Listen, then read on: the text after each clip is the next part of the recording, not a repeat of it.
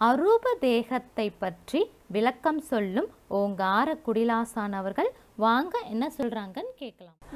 இரண்டும் கடந்த ஒன்றுதான் பரபெருமம் சொன்னார். ரெண்டும் கடந்தது. கிரியாசக்தி. அது தேகமும் இல்லை. தூட தேகமும் இல்லை சூச்சம தேகமும் இல்லை. அருவ தேகம் அருவ தேகம். சில பேர் காமமற்று இருப்பார்கள்.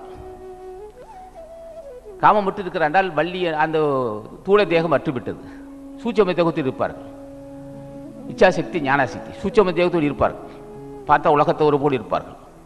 மாத்தானவத்தையும் மாயாவரி மயக்கத்தையும் நீத்தார் தமக்கு நிட்டையுண்டோ நித்த நண்பு கொண்டு வேத்தார் குளித்தும் பசித்தார் புசித்தும் விழிது என்று பார்த்தார் உலகத்து அவர் போல் இருப்பது பற்றட்டவர் நான்.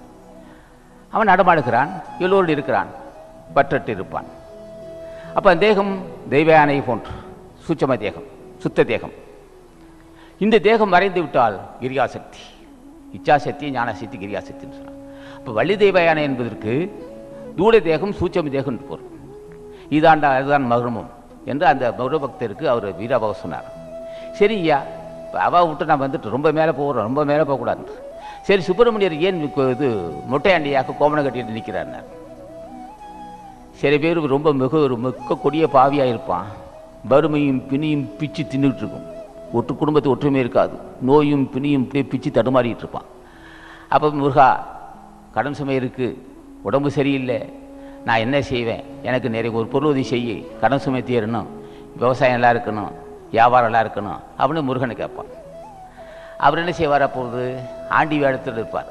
கோமனை கட்டிக்கிட்டு கையில் குச்சி வச்சுட்டு இருப்பார். நானே போ மறுவேசி இல்லாமல் குப்பையில் இந்த கோமணத்தை கட்டிகிட்டு இருக்கிறேன்.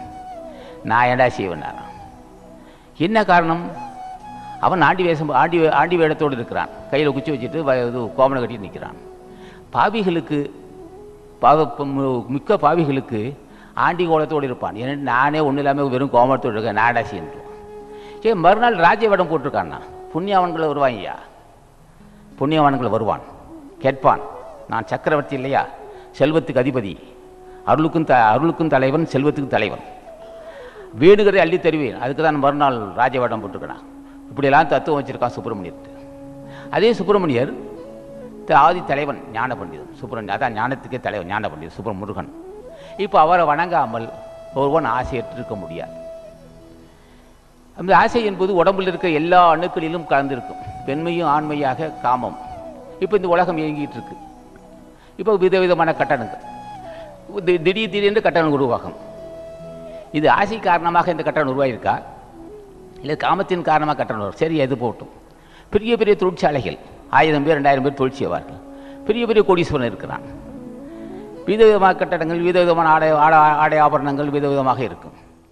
ஆசானது அருளுரைகளை தொடர்ந்து கேட்க அரங்கர் டிவிக்கு லைக் பண்ணுங்க சப்ஸ்கிரைப் பண்ணுங்க. மறக்காம பெல் பட்டனையும் கிளிக் பண்ணுங்க.